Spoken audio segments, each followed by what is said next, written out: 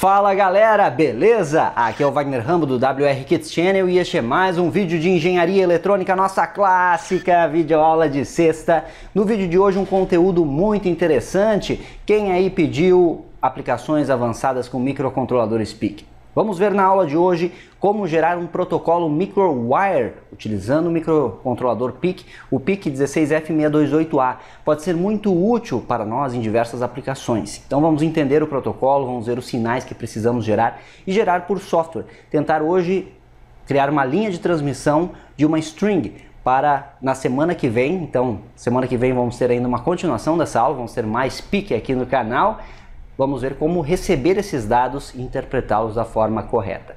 Muito interessante, quem gosta de protocolos, quem gosta de PIC, quem gosta de programação, já deixe o seu like, inscrição no canal e ative esse sininho para receber as notificações. Este vídeo é um oferecimento da Toroid do Brasil, acesse toroid.com.br Confira, faça a cotação do seu transformador toroidal sob medida para o seu projeto. Lembrando também de se inscrever no canal Bancada de Eletrônica do Marco Lana, que foi um dos finalistas do concurso Tektronics. O link está aqui na descrição. Confira o canal Bancada de Eletrônica do Marco Lana. Vamos para a aula de hoje. Let's get started!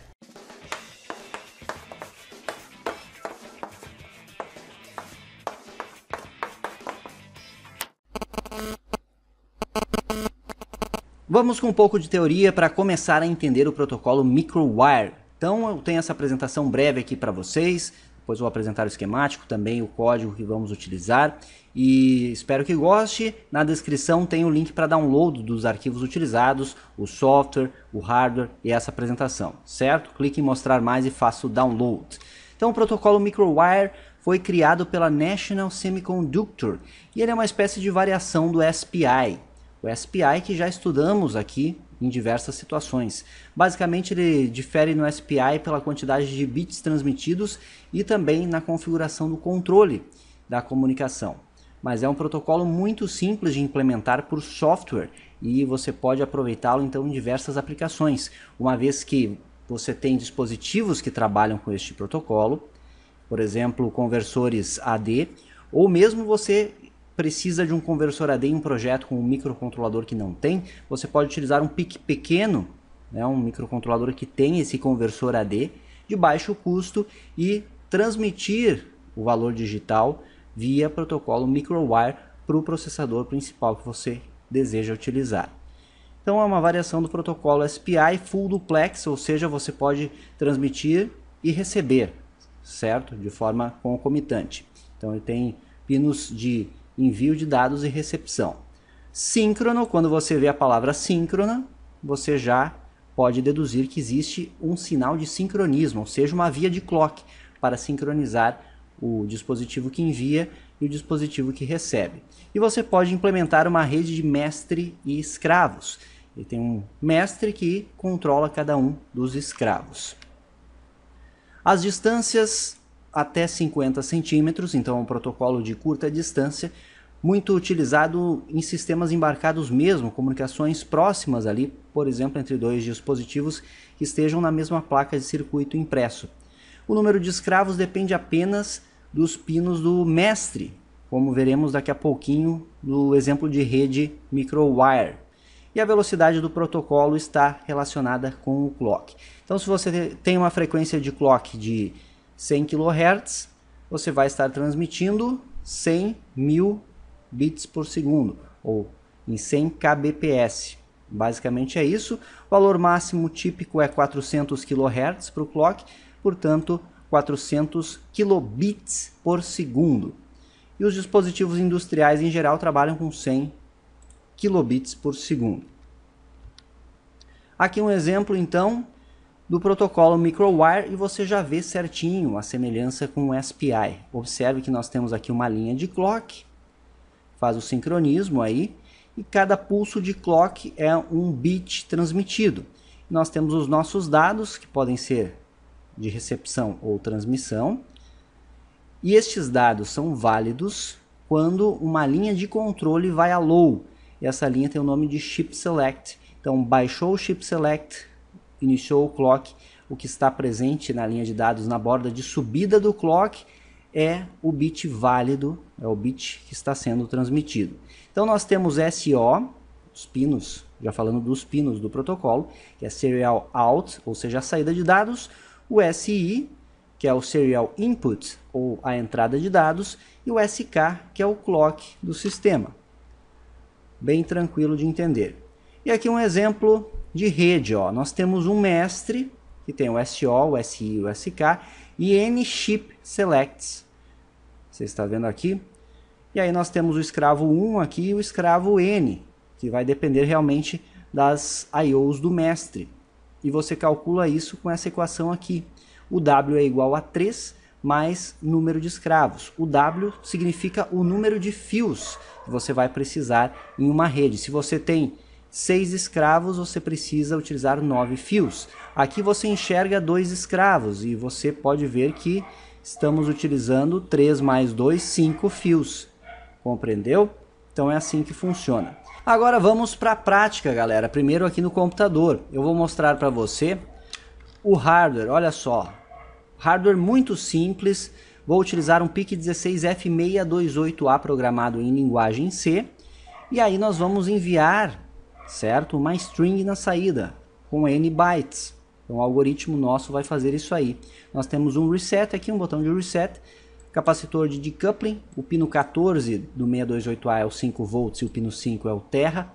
E aqui estão os nossos fios, ou seja, serial output, serial input, serial clock e o chip select 1. Então só estou prevendo um escravo. A ideia na aula que vem trazermos então o receptor destes dados enviados na aula de hoje.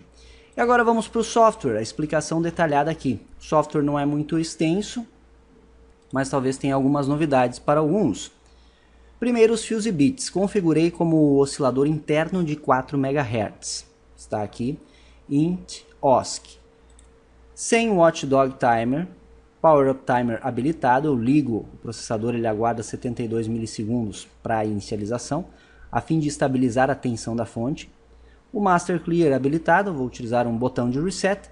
E o Browned Out desabilitado, eu não quero que ele desligue por uma variação de tensão que a tensão baixe um pouco dos 5 volts. Ele será reiniciado se este fuse bit estiver habilitado. Começamos com o mapeamento de hardware, então o SO está no RB0, o SI no RB1 o SK no RB2 e o chip select 1 no RB3. Esta é a função que vai enviar a string para nós, um n número de bytes. Chamei de send data e a gente passa como parâmetro a string contendo os bytes que de desejamos enviar via microwire. Precisamos destas variáveis aqui, tx byte, que armazena o byte transmitido, e tx-bit, que armazena o bit transmitido. Estamos aqui na função principal, código configura as nossas IOs no TreesB. Precisamos que o SI seja uma entrada e os demais são saída. E é estes três aqui que vamos verificar os sinais na bancada no osciloscópio. Chip Select 1 eu coloco em 1, após inicializar aí o TreesB. E aí depois no loop infinito bem sucinto, eu estou chamando a função sendData enviando essa string aqui, WR, maiúsculo. Optei por 2 bytes apenas para conseguirmos enxergar toda a transmissão, todo o pacote na tela do osciloscópio. Você pode enviar uma frase maior, por exemplo protocolo microwire, enfim, a frase que você desejar para fazer os testes. E aqui uma taxa de atualização, pois estamos em um loop infinito. Então, para ele não ficar enviando os bytes continuamente, eu, eu interrompo esse envio por 555 milissegundos. Isso foi um número aleatório que eu escolhi para a taxa de envio. E aí todo o nosso protocolo foi implementado em send data. Perceba que aqui está a função tem sempre espaço para você, assinante, trabalhar em cima, desenvolver em cima das funções. Então você pode aproveitar este algoritmo e criar uma função melhorada que envie para mais escravos. Fica a sugestão para você. Aqui está prevendo apenas um envio. Então o que ocorre aqui? Eu tenho duas variáveis locais para iterações em laços for. eu tenho um laço for externo aqui para envio dos bytes. Então eu inicio o i em 0 e eu vou até o comprimento máximo da minha string que eu passei como parâmetro. No caso aqui são dois bytes, o W e o R. É isso que a função strlen faz. Ela retorna o comprimento da string que está no parâmetro aqui. E mais mais. Aí dentro do for eu pego elemento por elemento da minha string e armazeno em tx byte a cada passada do laço for. Então primeiro ele recebe aquele w, ele começa pelo mais significativo, e eu tenho armazenado w aqui. w passando para ASCII é 57 hexa, ou 0101 0111, 57 hexa. Aninhado a esse for, eu tenho um segundo for aqui, responsável por enviar bit a bit. Então, eu peguei o byte W e agora eu vou destrinchar ele bit a bit. Então, eu tenho que enviar 0101, 0111, 57 hexa. Nessa linha aqui e nessa eu faço isso acontecer trabalhando com a minha variável global tx bit. Então vamos tentar explicar para você aqui da forma da melhor forma possível. Esse é o meu primeiro byte, então vou dar o exemplo com o primeiro byte, certo? Primeiro eu pego o valor atual de J e faço um shift right com o 80 hexa. 80 hexa é um 000 se eu fizer um Shift Right zero vezes, eu vou ter o próprio 80 hexa. Se eu fizer uma vez, eu vou ter o 40 hexa. Se eu fizer duas vezes, eu vou ter o 20 hexa. Então eu vou deslocando este byte, esse único bit, melhor dizendo, para a direita. É isso que o Shift Left faz. E aí eu vou fazer uma operação AND bit a bit com o conteúdo de, de TX byte. Então, eu tenho o conteúdo aqui, ó, que eu capturei inicialmente da minha string.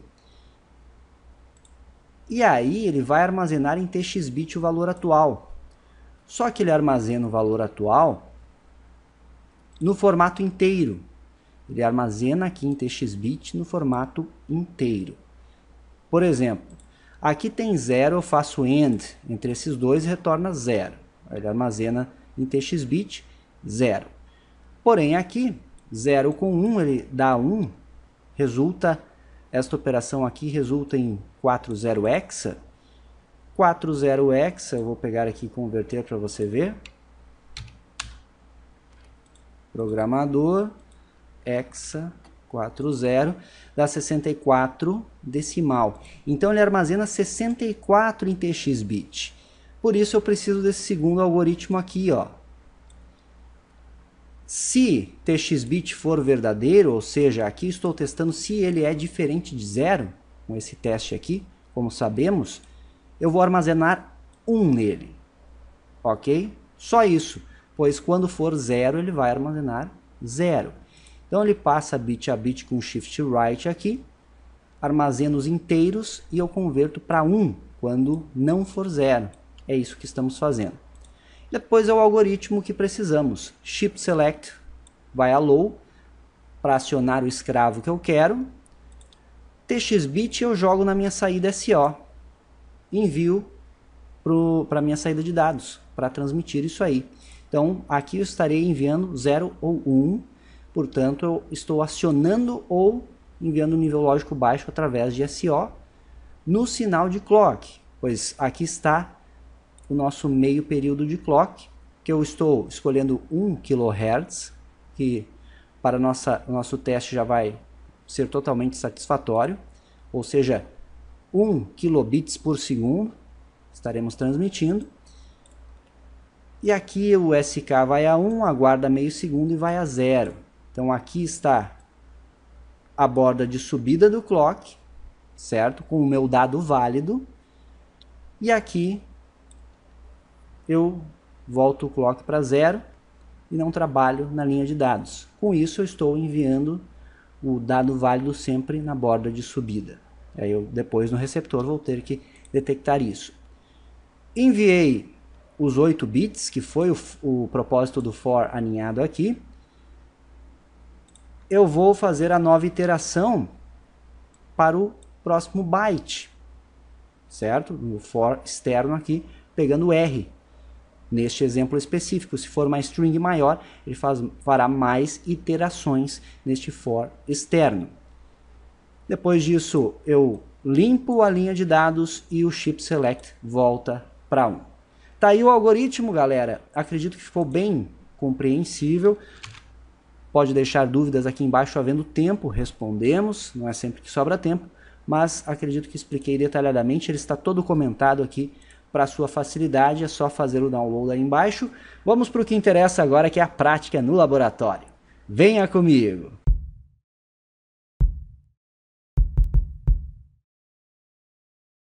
Aqui está a nossa montagem, galera, o PIC16F628A. Estamos utilizando o clock interno de 4 MHz, como vimos. Tem aqui um botão de reset e a alimentação em 5 volts, junto com o capacitor de desacoplamento. E os três sinais do nosso protocolo. Ó. Aqui o Serial Output, aqui nós temos o Serial Clock e aqui o Chip Select. Então este é o nosso dispositivo mestre Perceba que com adaptações no código você pode ter mais pinos de chip select e outros escravos. Semana que vem vamos demonstrar como você faz a recepção. E aí, por exemplo, você tem uma string WR e quer enviar para o primeiro escravo. Aí você aciona esse chip select aqui. Uma segunda string, por exemplo, kits, você quer enviar para um segundo escravo. Então você tem um segundo pino de chip select que aí vai a low, aciona um segundo escravo e você envia a segunda string para aquele dispositivo. Compreendeu? Da mesma forma, se você quiser utilizar sensores diversos que trabalhem com o protocolo MicroWire. Perfeito? Alimentação aqui da fonte de bancada, 5 volts. Eu vou pegar aqui os, as pontas de prova do osciloscópio e eu vou ligar o canal 1 nos dados serial output. Tá aí. Eu vou ligar inicialmente o canal 2 no chip select para verificarmos este sinal aí. Canal 2 chip select e depois eu mudo para o clock para analisarmos o clock do sistema. Beleza, tudo pronto para os nossos testes. Tá aí nossa fonte de bancada, estou utilizando o canal 3 dela. Eu vou configurar aqui para 5 volts. E vamos configurá-la para fornecer aí 200 mA de corrente já é o bastante para o circuito. Então vamos liberar aí a alimentação. Estamos alimentando o sistema e veja que o consumo aí nem foi registrado aqui, é baixíssimo consumo do circuito estamos recebendo alguma coisa aqui no osciloscópio. Ó. Canal 1 é o Serial Output, canal 2 é o Chip Select. Eu vou diminuir aqui o zoom horizontal.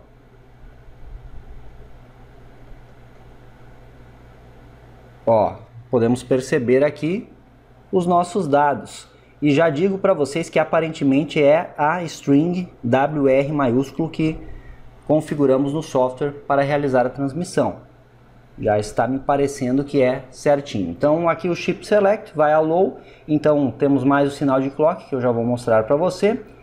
E os dados sendo enviados ali pela serial output. Vamos ajeitar o trigger aí, canal 2, borda de descida. E aí conseguimos ver certinho o momento em que o chip select vai a low. Beleza, ó.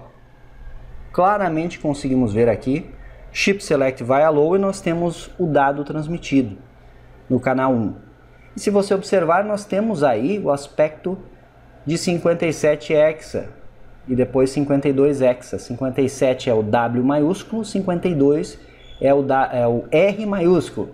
Então aqui nós temos 0101, 0111, 0101, 0010 e o chip select vai a 1.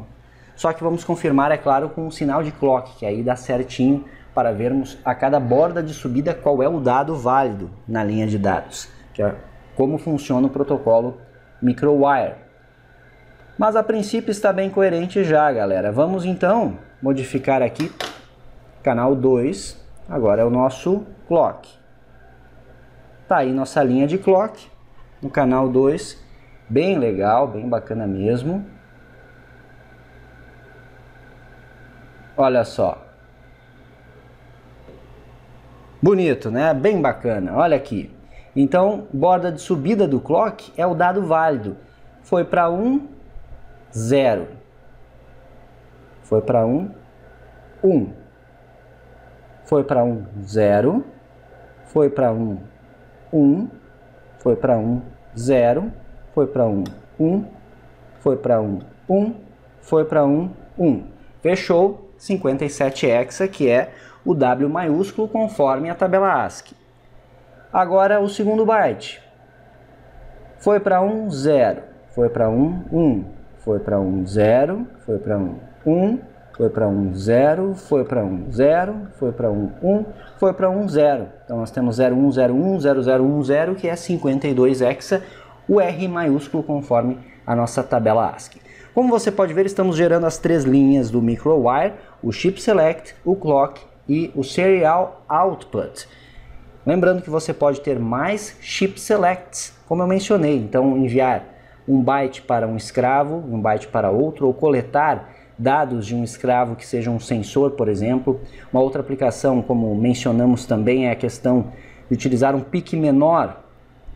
Vamos citar aqui o 12F675, em que você tem o conversor analógico digital salva o valor de conversão AD no PIC, transmite por microwire para um PIC 16F628A e aí você tem este PIC com uma conversão AD bem eficaz.